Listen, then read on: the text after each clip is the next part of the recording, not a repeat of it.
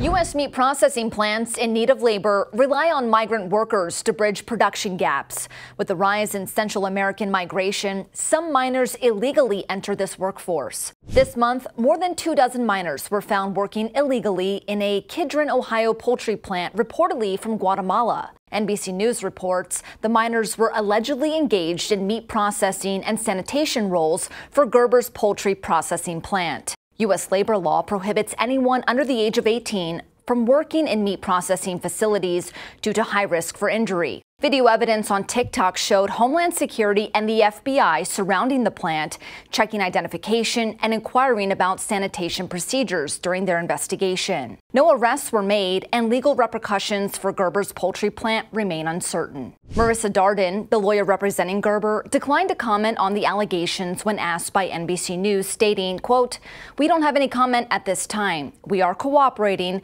We just can't talk about it. The incident serves as a stark reminder of the ongoing challenges related to labor and immigration issues in the United States. Back in July, a 16 year old Guatemalan migrant died while cleaning machinery at a poultry plant in Mississippi. And in February, Packer Sanitation Services Incorporated paid $1.5 million in penalties after the Department of Labor found it had illegally employed more than 100 children ranging from 13 to 17 years old. Advocates and lawyers stated that some child workers for Packer Sanitation were unaccompanied minors who crossed the U.S. southern border. In fiscal year 2023, the Department of Labor reported 955 cases with child labor violations. Nearly 200 of those cases were hazardous occupation violations. Thanks for watching. Arrow News is on a mission to bring you unbiased, fact-based reporting, and we are succeeding.